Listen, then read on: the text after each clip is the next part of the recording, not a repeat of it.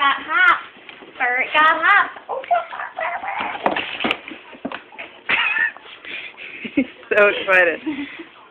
Hey, ah! No!